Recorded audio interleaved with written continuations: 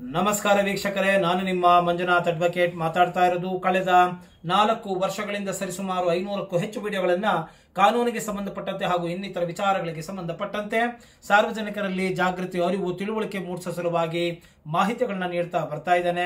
ಮೊದಲ ಬಾರಿಗೆ ನನ್ನ ವಿಡಿಯೋ ನೋಡ್ತಾರಾದ್ರೆ ಮರೆಯದ ಹಾಗೆ ಈಗಲೇ ಈ ವಿಡಿಯೋ ಕೆಳಗೆ ಇರ್ತಕ್ಕಂಥ ಸಬ್ಸ್ಕ್ರೈಬ್ ಬಟನ್ ಕ್ಲಿಕ್ ಮಾಡ್ಕೊಳ್ಳಿ, ಬೆಲ್ ಐಕಾನ್ ಕ್ಲಿಕ್ ಮಾಡ್ಕೊಳ್ಳಿ ಬಿಡುವಿದ್ದಾಗಲ್ಲ ವಿಡಿಯೋಗಳನ್ನ ನೋಡ್ತಾ ಇರಿ.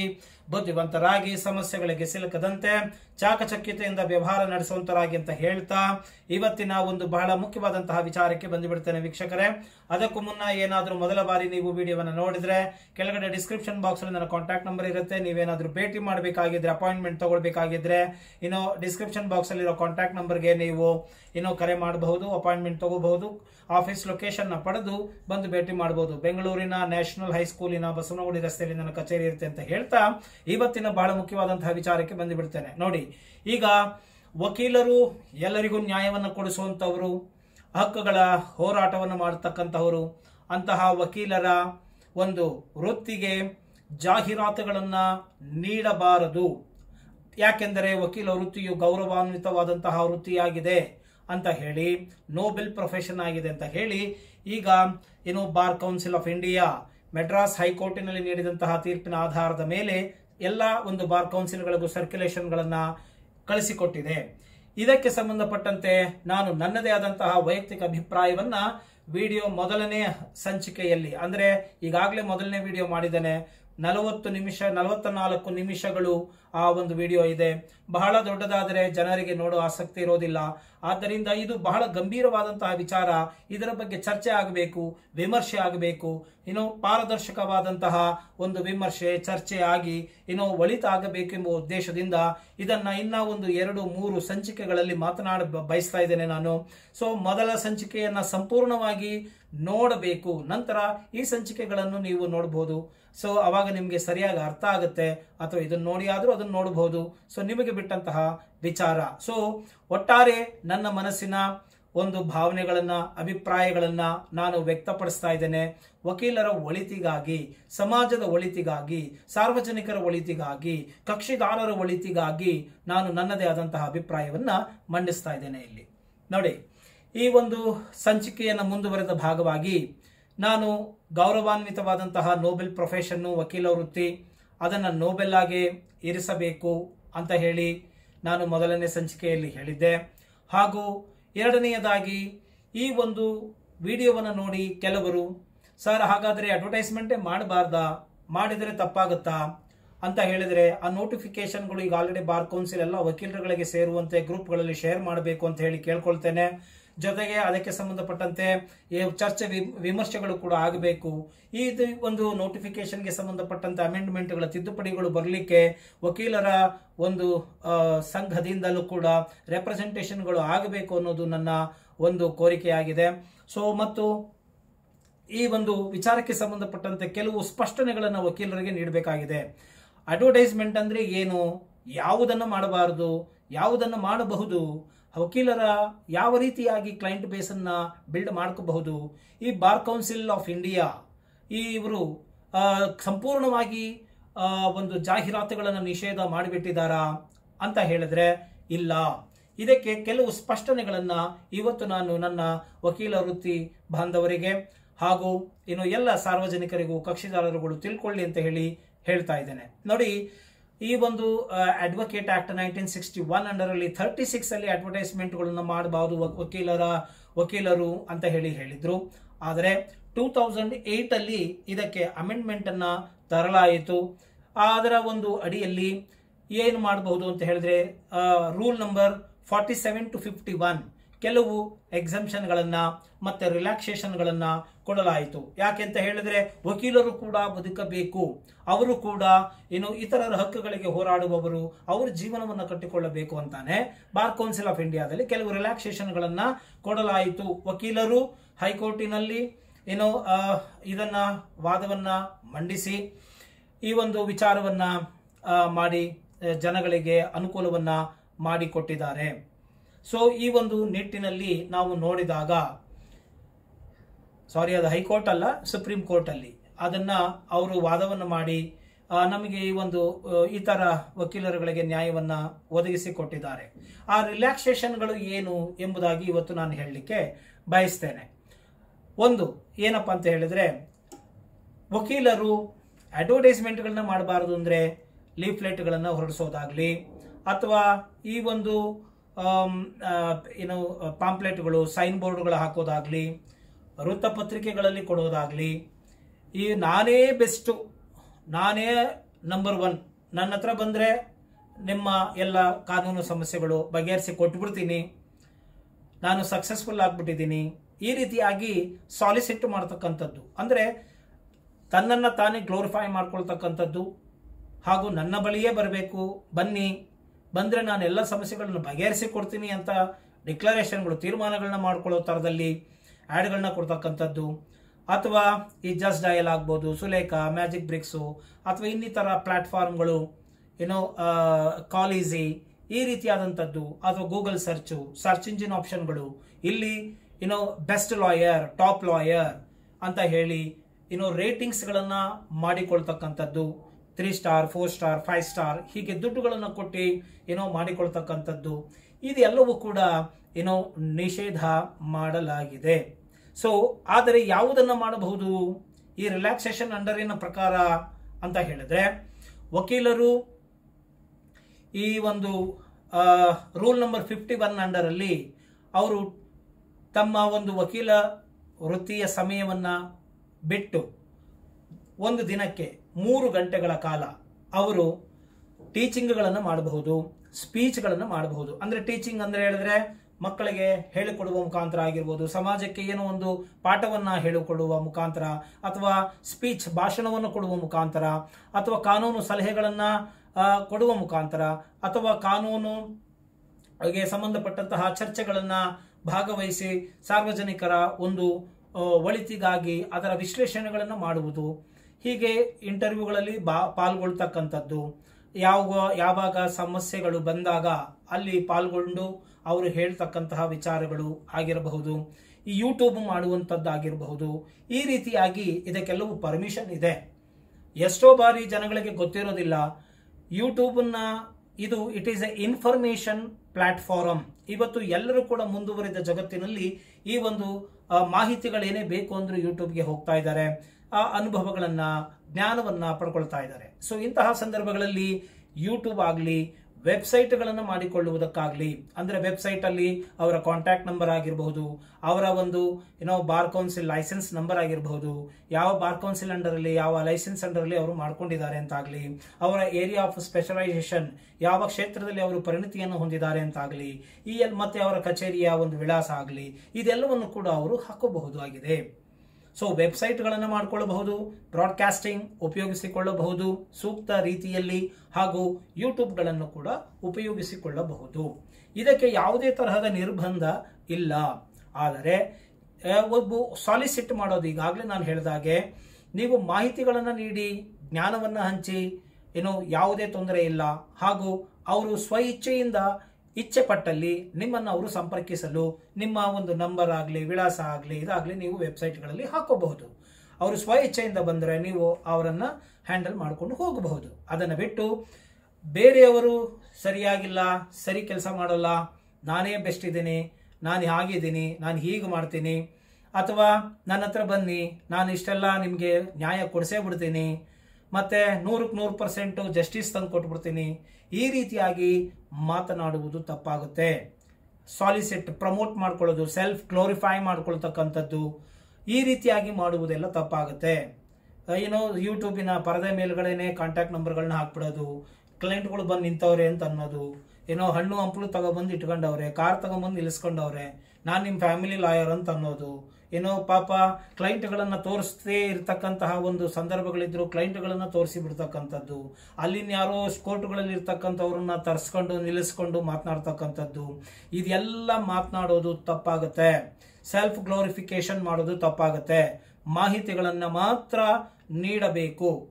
ಮಾಹಿತಿ, ಜ್ಞಾನವನ್ನ ನೀಡಿ ವೆಬ್ಸೈಟ್ ಅಲ್ಲಿ ನಂಬರ್ಗಳನ್ನು ಹಾಕ್ಕೊಂಡು ಅಥವಾ ವೆಬ್ಸೈಟ್ ಮಾಡುವಂತಹ ಒಂದು ಪರಿಸ್ಥಿತಿಯಲ್ಲಿ ವಕೀಲರು ಇಲ್ಲ ಅಂತಂದಾಗ ಆ ಡಿಸ್ಕ್ರಿಪ್ಷನ್ ಅಲ್ಲಿ ನಂಬರ್ ಹಾಕಿ ಅವರು ಏನು ವೆಬ್ಸೈಟ್ಗಳನ್ನು ಮಾಡಿಕೊಂಡು ನಂತರ ಮುಂದುವರಿಯಬಹುದಾಗಿದೆ. ಸೊ ಈ ರೀತಿಯಾಗಿ ರಿಲ್ಯಾಕ್ಸೇಷನ್ ಇದೆ. ಇದನ್ನ ಇದರ ಬಗ್ಗೆ ತಿಳುವಳಿಕೆ ಸ್ಪಷ್ಟನೆ ಕೂಡ ವಕೀಲರಿಗೆ ಇಲ್ಲದೆ ಇದ್ದಿದ್ರಿಂದ, ಸಾಕಷ್ಟು ಅನುಮಾನಗಳು ಇದ್ದಿದ್ರಿಂದ, ಇದರ ಬಗ್ಗೆ ಸ್ಪಷ್ಟನೆ ಕೇಳಿದ್ರಿಂದ ಈ ವಿಡಿಯೋವನ್ನ ನಾನು ಮಾಡಿ ಹಾಕ್ತಾ ಇದ್ದೇನೆ. ಸೊ ಈ ಒಂದು ರಿಲ್ಯಾಕ್ಸೇಷನ್ ಇದೆ ಅನ್ನೋದು ಎಲ್ಲರಿಗೂ ಕೂಡ ಇವತ್ತು ಗೊತ್ತಾಗಿದೆ. ಇನ್ನ ಯಾವುದನ್ನು ವಕೀಲರು ಮಾಡಬಹುದು ಅಂತ ಹೇಳಿದ್ರೆ, ನೋಡಿ ಉದಾಹರಣೆಗೆ ಬಿಸ್ನೆಸ್ ಅನ್ನ ಅವರು ಮಾಡುವ ಹಾಗಿಲ್ಲ, ನೇರವಾಗಿ. ಅಂದ್ರೆ ಬಾರ್ ಕೌನ್ಸಿಲ್ ಆಫ್ ಇಂಡಿಯಾದಲ್ಲಿ ಲೈಸೆನ್ಸ್ ಅನ್ನ ಪಡೆದ ನಂತರ ಅವರು ವಕೀಲ ವೃತ್ತಿಯನ್ನ ಮಾಡಬೇಕಾಗುತ್ತೆ, ಯಾವುದೇ ಬಿಸ್ನೆಸ್ ಅನ್ನ ಮಾಡುವ ಹಾಗಿಲ್ಲ. ಅಂತ ಹೇಳಿದ್ರೆ, ಅಂದ್ರೆ ಡೈರೆಕ್ಟ್ ಆಗಿ ಇನ್ವಾಲ್ವ್ ಆಗಿ ಬೆಳಗ್ಗೆಯಿಂದ ಸಂಜೆವರೆಗೂ ಅವರ ಪ್ರೆಸೆನ್ಸ್ ಅನ್ನ ಎಕ್ಸ್ಪೆಕ್ಟ್ ಮಾಡುವಂತಹ ಒಂದು ಬಿಸ್ನೆಸ್ಗಳನ್ನು ಅವರು ಮಾಡುವ ಹಾಗಿಲ್ಲ. ಆದರೆ ಅವರು ಸ್ಲೀಪಿಂಗ್ ಪಾರ್ಟ್ನರ್ ಆಗಿ, ಅಂದ್ರೆ ನನ್ನ ಬಳಿ ಹಣ ಇದೆ, ನಾನು ಇನ್ವೆಸ್ಟ್ ಮಾಡ್ತೇನೆ ಸೊ ಅಲ್ಲಿ ಬರುವ ಪ್ರಾಫಿಟ್ ಅಲ್ಲಿ ಶೇರ್ ತಗೊಳ್ತೇನೆ. ಈ ರೀತಿಯಾದಂತಹ ಒಂದು ರೀತಿಯಲ್ಲಿ ನೀವು ಬಿಸ್ನೆಸ್ಗಳಿಗೆ ಇನ್ವೆಸ್ಟ್ಮೆಂಟ್ಗಳನ್ನು ಮಾಡಬಹುದಾಗಿದೆ. ಈ ಇದರ ಇದು, ಇದಕ್ಕೆ ಯಾವುದೇ ರೀತಿಯಾದಂತಹ ನಿರ್ಬಂಧಗಳು ಇರುವುದಿಲ್ಲ. ಸೊ ಯಾವುದೇ ರೀತಿಯಾದಂತಹ ಫುಲ್ ಟೈಮ್ ಜಾಬ್ಗಳನ್ನ ವಕೀಲರು ಬೇರೆ ಕಡೆ ವಕೀಲರ ವಕೀಲರ ಒಂದು ಲೈಸೆನ್ಸ್ ಅನ್ನ ಪಡೆದು ಫುಲ್ ಟೈಮ್ ಜಾಬ್ ಅನ್ನ ಬೇರೆ ಕೆಲಸಗಳನ್ನು ಮಾಡುವ ಹಾಗಿಲ್ಲ. ಆ ರೀತಿಯಾಗಿ ಏನಾದರೂ ಇದ್ದರೆ ಅವರು ಅದನ್ನ ಹ್ಯಾಂಡ್ ಓವರ್ ಮಾಡಿ ಬಾರ್ ಕೌನ್ಸಿಲ್ಗೆ ಅದನ್ನ ಹ್ಯಾಂಡ್ ಓವರ್ ಮಾಡಿ ಕೆಲಸಗಳನ್ನು ಮಾಡಿಕೊಂಡು ತದನಂತರ ಬೇಕಂದಾಗ ಮತ್ತೆ ಅವರು ಪಡೆದುಕೊಳ್ಳಬಹುದಾಗಿದೆ. ಸೊ ಇದರ ಬಗ್ಗೆ ಕೂಡ ಸ್ಪಷ್ಟನೆಯನ್ನ ಇಲ್ಲಿ ನಾನು ನೀಡ್ತಾ ಇದ್ದೇನೆ. ಸೊ ವೀಕ್ಷಕರೇ, ವಕೀಲರೇ, ಏನೋ ತಿಳಿದುಕೊಳ್ಳಿ ಯೂಟ್ಯೂಬ್ ಮಾಡುವುದು ಖಂಡಿತವಾಗಿಯೂ ಕೂಡ ಏನೋ ರಿಲ್ಯಾಕ್ಸೇಷನ್ ಇದೆ. ಇದು ಜಾಹೀರಾತಿನ ಅಂಡರಲ್ಲಿ ಬರೋದಿಲ್ಲ. ಇದು ಮಾಹಿತಿಗಳನ್ನು ಹಂಚಿಕೊಳ್ಳುವುದಕ್ಕೆ, ಜ್ಞಾನವನ್ನು ತಿಳಿಸಿಕೊಡೋದಕ್ಕೆ ಇನ್ನು ಇರತಕ್ಕಂಥ ಒಂದು ಪ್ಲಾಟ್ಫಾರಮು ಆ ಪ್ಲಾಟ್ಫಾರ್ಮ್ ಅನ್ನು ಮಾಡಿದ ಮೇಲೆ ಮೇಲೆ ನೀವು ಜ್ಞಾನವನ್ನು ಕೊಟ್ಟ ಮೇಲೆ ಅವರು ನಿಮ್ಮನ್ನು ಸಂಪರ್ಕಿಸಬೇಕಾದಾಗ, ಯಾವುದೋ ಒಂದು ಕ್ಲಾರಿಟಿ ತಗೊಳ್ಬೇಕಾದಾಗ ಅಥವಾ ನಿಮ್ಮ ಸೇವೆ ಬೇಕಾಗಿದ್ದಲ್ಲಿ ಅವರು ಅದನ್ನು ಹುಡುಕಿಕೊಂಡು ಬರ್ತಾರೆ. ಅದನ್ನು ಬಿಟ್ಟು ನಾವು ಈ ಒಂದು ಏನು ಮಾರ್ಕೆಟಿಂಗ್ಗಳಲ್ಲಿ ಸಾಕಷ್ಟು ರೀತಿ ಇದೆ. ಅದರ ಬಗ್ಗೆ ಕೂಡ ಇವತ್ತು ನಾನು ಮಾತನಾಡ್ತೇನೆ. ಸೊ ಈ ಒಂದು ರಿಲ್ಯಾಕ್ಸೇಷನ್ ಇದೆ ಅನ್ನೋದ್ರ ಬಗ್ಗೆ ಇವತ್ತು ನಿಮಗೆ ತಿಳುವಳಿಕೆಯನ್ನ ಕೊಟ್ಟಿದ್ದೇನೆ. ಇನ್ನ, ಇದು ಡಿಗ್ನಿಫೈಡ್ ಜಾಬು ಇದು ಈ ಒಂದು ವೆಬ್ಸೈಟ್ಗಳನ್ನು ಮಾಡಿಕೊಂಡು ಮಾಡ್ಕೋಬಹುದು ಅಂತ ಹೇಳಿ ಹೇಳಿದ್ದಾರೆ ರಿಲ್ಯಾಕ್ಸೇಷನ್ ಕೊಟ್ಟಿದ್ದಾರೆ. ಇದರ ಬಗ್ಗೆ ಯಾವುದೇ ರೀತಿಯಾದಂತಹ ತಕರಾರು ಇಲ್ಲ. ಆದರೆ ಈಗ ರೇಟಿಂಗ್ಸ್ಗಳನ್ನು ಕೊಟ್ಟುಕೊಂಡು ಫೇಕ್ ರೇಟಿಂಗ್ಸ್ಗಳನ್ನ ಕೊಟ್ಕೊಂಡು ಮಾಡ್ತಕ್ಕಂಥದ್ದು ತಪ್ಪು ಅನ್ನೋದು ಈ ಬಾರ್ ಕೌನ್ಸಿಲ್ ಆಫ್ ಇಂಡಿಯಾದ ಉದ್ದೇಶ ಆಗಿದೆ ಮತ್ತು ಸರ್ಕ್ಯುಲೇಷನ್ ಕೊಟ್ಟಿದ್ದಾರೆ. ಮತ್ತೆ ಈ ಒಂದು ಪಾಂಪ್ಲೆಟ್ ಹಂಚೋದು ಸೈನ್ ಬೋರ್ಡ್ ಹಾಕೋದು ಬ್ಯಾನರ್ಗಳನ್ನ ಹಾಕೋದು ಹೋರ್ಡಿಂಗ್ಗಳನ್ನ ಹಾಕೋದು ಈ ರೀತಿಯಾಗೆಲ್ಲ ಮಾಡಬಾರದು ಅಂತ ಹೇಳಿ ಮಾಡಿದ್ದಾರೆ. ನನ್ನ ಮೊದಲನೇ ವಿಡಿಯೋದಲ್ಲಿ ಇದರ ಬಗ್ಗೆ ವಿಶ್ಲೇಷಣೆ ಏನಿದೆ ಅಂತ ಹೇಳಿದ್ರೆ, ಅಂದ್ರೆ ಕೋರ್ಟುಗಳಲ್ಲಿ ಹಾಗೂ bar council of India complete relaxation ಇಲ್ವಾ? ಮಾಡಿಲ್ವಾ ಅಂತಂದರೆ ಕಂಪ್ಲೀಟ್ ರಿಲ್ಯಾಕ್ಸೇಷನ್ ಮಾಡಿಲ್ಲ. ಅರ್ಧ ರಿಲ್ಯಾಕ್ಸೇಷನ್ ಆಗಿದೆ. ಆದರೆ ಪೂರ್ತಿ ರಿಲ್ಯಾಕ್ಸೇಷನ್ ಬೇಕು ಅನ್ನುವುದು ನನ್ನ ಮಾತಿನ ಒಂದು ಜಾಡಾಗಿದೆ ಹಾಗೂ ಅದರ ಉದ್ದೇಶ ಆಗಿದೆ ಅನ್ನೋದನ್ನು ನಾನು ಇಲ್ಲಿ ಹೇಳಲಿಕ್ಕೆ ಬಯಸ್ತಾ ಇದ್ದೇನೆ. ಈಗ ಈ ಒಂದು ಮಾರ್ಕೆಟಿಂಗಿನ ಬಗ್ಗೆ ಪ್ರಮೋಷನ್ ಬಗ್ಗೆ ನಾನು ಹೇಳ್ತೇನೆ. ನೋಡಿ ಮಾರ್ಕೆಟಿಂಗ್ ಫಾದರ್ ಯಾರಪ್ಪ ಅಂದರೆ ಫಿಲಿಪ್ ಕಾಟ್ಲರ್ ಅಂತೇಳಿ. ಅವ್ರು ಹೇಳ್ತಾರೆ ಫೋರ್ ಪೀಸ್ ಅಂತ ಮಾತಾಡ್ತಾರೆ. ಪ್ರಾಡಕ್ಟು ಪ್ಲೇಸು ಪ್ರೈಸ್, ಪ್ರಮೋಷನ್, ಈ ನಾಲ್ಕು ಕೂಡ ಬೇಕು ಅಂತ ಹೇಳಿ ಹೇಳ್ತಾರೆ. ಸೊ ಈ ನಾಲ್ಕು ಕೂಡ ಮಿಳಿತ ಆದಾಗ ಮಾತ್ರ ಅವರು ಬಿಸ್ನೆಸ್ ಅನ್ನ ಮಾಡಬಹುದು ಸಕ್ಸಸ್ ಅನ್ನ ಕಾಣಬಹುದು ಅಂತ ಹೇಳಿ. ಈ ವಕೀಲ ವೃತ್ತಿಯು ಪ್ರಾಡಕ್ಟ್ ಅಲ್ಲ. ಇದು ನಾಲೆಡ್ಜ್ ಶೇರಿಂಗ್ ಅನ್ನೋದು ಇಲ್ಲಿ ಹೇಳ್ತಾರೆ. ಇದು ಕೂಡ ವಿಮರ್ಶೆ ಆಗಬೇಕಾಗಿದೆ. ಪ್ರತಿಯೊಂದು ಕೂಡ ಪ್ರಾಡಕ್ಟೇ ಆಗಿದೆ. ಅಂದ್ರೆ ನಿಮ್ಮ ನಾಲೆಡ್ಜ್ ಅನ್ನ ಶೇರ್ ಮಾಡುವುದು. ಇವತ್ತೆಲ್ಲ ಎಜುಕೇಶನ್ ಇನ್ಸ್ಟಿಟ್ಯೂಟ್ಗಳು ಕೋಟಿಗಟ್ಟಲೆ ಬಿಸ್ನೆಸ್ ಗಳನ್ನ ಮಾಡ್ತಾ ಇದ್ದಾರೆ. ಸೊ ಈ ಒಂದು ಜ್ಞಾನವನ್ನು ಹಂಚುವಂತದ್ದು ಇದಕ್ಕೂ ಕೂಡ ನಾವು ಸಂಬಳಗಳನ್ನು ಪಡ್ಕೊಳ್ತೇವೆ. ಇಲ್ಲಿ ಲಾಭದ ಉದ್ದೇಶ ಇಲ್ಲದೆ ಇರಬಹುದು. ಆದರೆ ಅವರ ಜ್ಞಾನದ ಒಂದು ನಾಲೆಡ್ಜಿನ ಲೆವೆಲ್ಗೆ ತಕ್ಕ ಹಾಗೆ ಅವರು ಫೀಸ್ಗಳನ್ನ ಚಾರ್ಜ್ ಮಾಡ್ತಾ ಹೋಗ್ತಾ ಇರ್ತಾರೆ. ಸೊ ಆದ್ದರಿಂದ ಎಲ್ಲವೂ ಕೂಡ ಪ್ರಾಡಕ್ಟ್ ಅನ್ನೋದನ್ನು ತುಂಬಾ ಬ್ರಾಡ್ ಪರ್ಸ್ಪೆಕ್ಟಿವ್ ಇಂದ ನೋಡಬೇಕಾಗಿದೆ. ಹಾಗೂ ಬಿಸ್ನೆಸ್ ಅನ್ನುವುದನ್ನು ಕೂಡ ಬ್ರಾಡ್ ಪರ್ಸ್ಪೆಕ್ಟಿವ್ ಇಂದ ನೋಡಬೇಕಾಗಿದೆ. ಬಿಸ್ನೆಸ್ ಅಂದ್ರೆ ಏನು? ವ್ಯಾಪಾರ. ವ್ಯಾಪಾರ ಮಾಡೋದು ತಪ್ಪ? ಖಂಡಿತ ತಪ್ಪಲ್ಲ. ಮಾಲಿಫೈಡ್ ಇಂಟೆನ್ಷನ್ ಇದ್ರೆ ತಪ್ಪಾಗುತ್ತೆ. ಅಧಿಕೃತ ವ್ಯಕ್ತಿಗಳಾಗದೆ ಏನು ಲೈಸೆನ್ಸ್ ಇಲ್ಲದೆ, ಜ್ಞಾನವಿಲ್ಲದೆ, ಸಮಾಜವನ್ನು ಮಿಸ್ಲೀಡ್ ಮಾಡಿದಾಗ ಮಾತ್ರ ಅದು ತಪ್ಪಾಗುತ್ತೆ. ಇಲ್ಲದಿದ್ದಾಗ ಅದು ತಪ್ಪಾಗುವುದಿಲ್ಲ. Let it be as a business no problem at all ಯಾವಾಗ ಓಪನ್ ಮಾರ್ಕೆಟ್ ಇರುತ್ತೆ, ಯಾವಾಗ ಒಂದು ಬಿಸ್ನೆಸ್ ಇರುತ್ತೆ ಕಾಂಪಿಟೇಷನ್ ಇರುತ್ತೆ, ಆಗ ಎಲ್ಲರೂ ಕೂಡ ಶಾರ್ಪನ್ ಆಗ್ತಾರೆ, ಚೆನ್ನಾಗಿ ಅಪ್ಡೇಟ್ ಮಾಡ್ಕೊಳ್ತಾರೆ ಅಪ್ಲಿಫ್ಟ್ ಮಾಡ್ಕೊಳ್ತಾರೆ, ಬೆಳಿತಾರೆ ಅನ್ನೋದು ನನ್ನ ಉದ್ದೇಶ ಆಗಿದೆ. ಆದ್ದರಿಂದ ನನ್ನ ಮೊದಲನೇ ವಿಡಿಯೋದಲ್ಲೂ ಕೂಡ ಅಡ್ವೊಕೇಟ್ಗಳು ಅಡ್ವರ್ಟೈಸ್ಮೆಂಟ್ ಮಾಡೋಕೆ ಬಿಡಬೇಕು ಅಂತ ಹೇಳಿದರೆ, ಈಗ ನೋಡಿ ಉದಾಹರಣೆಗೆ ಅನಾಲಿಸಿಸ್ ಪಾಯಿಂಟ್ ಆಫ್ ವ್ಯೂ ಇಂದ ಹೇಳ್ತೇನೆ. ವೆಬ್ಸೈಟ್ಗಳನ್ನು ಮಾಡ್ಕೊಳ್ಳಿ ಅಂತ ಹೇಳಿದ್ರೆ, ಒಳ್ಳೆ ಆಫೀಸ್ ಇರಬೇಕು. ಈಗ ನಾನಾಗಲೇ ಹೇಳ್ದಂಗೆ ಪ್ರಾಡಕ್ಟು ಪ್ಲೇಸು ಪ್ರೈಸು ಪ್ರಮೋಷನ್ ಈ ನಾಲ್ಕು ಇರಬೇಕು ಒಳ್ಳೊಳ್ಳೆ ಕಚೇರಿಗಳನ್ನು ಮಾಡಬೇಕಾಗುತ್ತೆ, ಆಫೀಸ್ಗಳನ್ನು ತೆರಿಬೇಕಾಗುತ್ತೆ, ಮತ್ತೆ ಅದಕ್ಕೆ ಸಂಬಂಧಪಟ್ಟಂತೆ ಟೆಕ್ನಾಲಜಿಗಳನ್ನು ಮತ್ತೆ ಇನ್ಫ್ರಾಸ್ಟ್ರಕ್ಚರ್ಗಳನ್ನು ಸೇರಿಸ್ಕೋಬೇಕಾಗುತ್ತೆ, ಮತ್ತೆ ವೆಬ್ಸೈಟ್ಗಳನ್ನು ಮಾಡೋದಕ್ಕೆ ಅದಕ್ಕೆ ಬೇಕಾದಂಥ ಒಂದು ಪ್ರೊಫೈಲ್ ಆಗಲಿ, ಒಂದು ಎಕ್ಸ್ಪೀರಿಯನ್ಸ್ ಆಗಲಿ, ಒಂದು ಇದೆಲ್ಲ ಬೇಕಾಗುತ್ತೆ. ಇದೆಲ್ಲವನ್ನು ಕೂಡ ಏನು ಸೀನಿಯರ್ಗಳು ಅಥವಾ ದುಡ್ಡು ಇರೋರು, ಉಳ್ಳವರು ಇದನ್ನೆಲ್ಲವನ್ನು ಮಾಡಬಲ್ಲರು. ಡಿಗ್ನಿಫೈಡ್ ಆಗಿರಲಿ ಅಂತ ಹೇಳಿ ಬಾರ್ ಕೌನ್ಸಿಲ್ ಮಾಡಿದೆ ತಪ್ಪು ಅಂತ ನಾನು ಹೇಳ್ತಾ ಇಲ್ಲ. ಆದರೆ ಅದು ಮಾಡುವುದು ಯಾರು? ಎಲ್ಲ ಇರುವಂತವರು ಉಳ್ಳವರು ಮಾಡ್ತಾರೆ. ಆದರೆ ಇಲ್ಲದೆ ಇರುವವರು ಏನು ಮಾಡಬೇಕು? ಈಗ ತಾನೇ ಗ್ರಾಜುಯೇಷನ್ಗಳನ್ನ ಮಾಡಿ ಬಂದಂಥವ್ರು ಏನು ಮಾಡಬೇಕು? ಯಾವ ರೀತಿ ಅವರು ನೆಟ್ವರ್ಕನ್ನು ಬಿಲ್ಡ್ ಮಾಡ್ಕೋಬೇಕು? ಅವರಿಗೆ ಟ್ಯಾಲೆಂಟ್ ಇದೆ, ಎಕ್ಸ್ಪೀರಿಯನ್ಸ್ ಇದೆ. ಅವರು ಏನನ್ನು ಬೇಕಾದ್ರೂ ವಾದ ಮಾಡುವಂಥ ಶಕ್ತಿ ಇದೆ. ಆದರೆ ಅವರು ಬಿಲ್ಡ್ ಮಾಡಿಕೊಂಡು ಹೋಗಲಿಕ್ಕೆ ಕಷ್ಟ ಆಗುತ್ತೆ. ಸಡನ್ನಾಗಿ ನಾವು ಹೈ ಫೈ ಸ್ಟ್ಯಾಂಡರ್ಡ್ ಆಗಿ ನೀವು ಇಟ್ಕೊಳ್ಳಿ, ಮಾಡಿ ಅಂತ ಹೇಳಿದ್ರೆ ಕಷ್ಟ ಆಗುತ್ತೆ. ಅದರಿಂದ ಓಪನ್ ಮಾರ್ಕೆಟಿಂಗು ಬಂದುಬಿಡಲಿ. ತಪ್ಪೇನಿಲ್ಲ. ತಪ್ಪೇನಿಲ್ಲ. ಯಾರ್ಯಾರು ಯಾವ ಯಾವ ಮಟ್ಟದಲ್ಲಿ ಇದ್ದಾರೆ, ಆರ್ಥಿಕ ಮಟ್ಟ ಇದೆ, ಅವರು ಆ ತರಹದ ಪ್ರಮೋಷನಲ್ ಆಕ್ಟಿವಿಟೀಸ್ ಚೂಸ್ ಮಾಡ್ಕೊಳ್ತಾರೆ. ನೋಡಿ, ಉದಾಹರಣೆಗೆ, ಸಿ ಕಾಸಿನಂತೆ ಕಜ್ಜಾಯ ಅಂತ ಹೇಳಿ ಕರಿತೇವೆ. ಯಾವ್ದು ನನ್ನ ಬಡ್ಜೆಟ್ ಏನಿದೆ ಬಡ್ಜೆಟ್ ತಕ್ಕಂಗೆ ನಾನು ಪ್ರಮೋಷನ್ ಮಾಡ್ಕೊಳ್ತೀನಿ. ಆದ್ರೆ ನೀನು ಹಂಗೆಲ್ಲ ಏನೂ ಮಾಡಂಗಿಲ್ಲ, ನೀನು ಹಿಂಗೆ ಮಾಡಬೇಕು ಅಂತ ಹೇಳೋದು ತಪ್ಪಾಗುತ್ತೆ. ಸೊ ಪ್ರತಿಯೊಬ್ಬರಿಗೂ ಕೂಡ ಮುಕ್ತವಾದಂತಹ ಅವಕಾಶವನ್ನ ಕೊಡಬೇಕು. ಇಲ್ಲದೆ ಹೋದರೆ ನಾನು ಈ ನೆಪೋಟಿಸಮ್ ಆಗಲಿ, ಇದಾಗ್ಲಿ ನಾನು ಯಾಕೆ ಹೇಳ್ತಾ ಇದ್ದೀನಿ ಅಂದ್ರೆ, ಬರೀ ದೊಡ್ಡವರು, ದುಡ್ಡುಳ್ಳವರು, ಅಧಿಕಾರದಲ್ಲಿರುವವರು ಬ್ಯಾಕ್ ಗ್ರೌಂಡ್ ಇರೋರು ಗುಡ್ ವಿಲ್ ಇರೋರು ಮಾತ್ರ ಬೆಳೀತಾ ಇದ್ದಾರೆ. ಈ ರೀತಿಯಾದಂತಹ ಒಂದು ನಿಯಮಗಳನ್ನು ಮಾಡಿಬಿಟ್ರೆ, ಷರತ್ತುಗಳನ್ನು ಹಾಕಿಬಿಟ್ರೆ.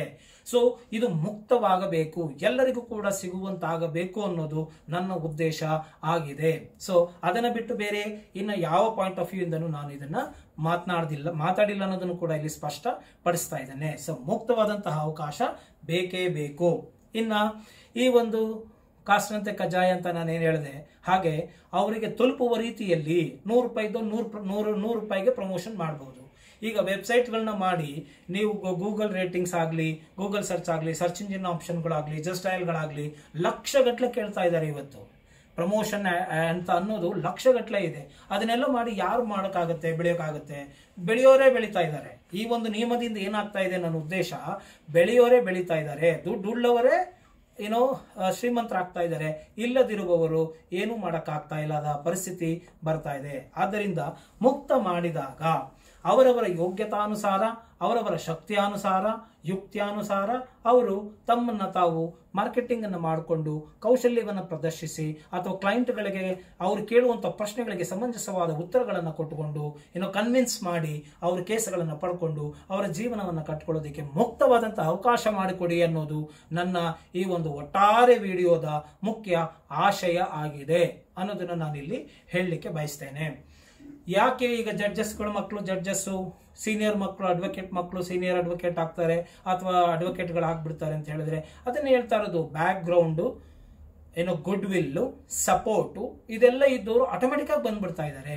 ಹಾಗಿದ್ದಾಗ ನೋಡಿ, ಒಂದು ನಾವೇನ್ ಮಾಡ್ಬೋದು? ಈ ರೀತಿಯಾಗಿ ರಿಸ್ಟ್ರಿಕ್ಷನ್ಸ್ ಮಾಡೋ ಬದಲು ಬಾರ್ ಕೌನ್ಸಿಲ್ ಆಫ್ ಇಂಡಿಯಾಗಾಗ್ಲಿ ಹೈಕೋರ್ಟ್ಗಾಗ್ಲಿ ಸುಪ್ರೀಂ ಕೋರ್ಟ್ಗಾಗ್ಲಿ ನನ್ನ ಒಂದು ಮನವಿ, ಮನವರಿಕೆ ಏನು ಅಂತ ಹೇಳಿದ್ರೆ, ಇದೆಲ್ಲ ಮಾಡುವ ಬದಲು ನೋಡಿ, ಉದಾಹರಣೆಗೆ ಫಾರಿನ್ ಅಲ್ಲಿ ಒಂದು ಹತ್ತು ಲಕ್ಷ ಜನ, ಜನಸಂಖ್ಯೆ ಇದ್ರೆ ಅವರಿಗೆ ಕಮ್ಮಿ ಅಂತ ಹೇಳಿದ್ರು ಒಂದು ಇನ್ನೂರ, ಇನ್ನೂರೈವತ್ತು ಜಡ್ಜಸ್ಗಳು ಇರ್ತಾರೆ. ಜಡ್ಜಸ್ಗಳು ಇರ್ತಾರೆ.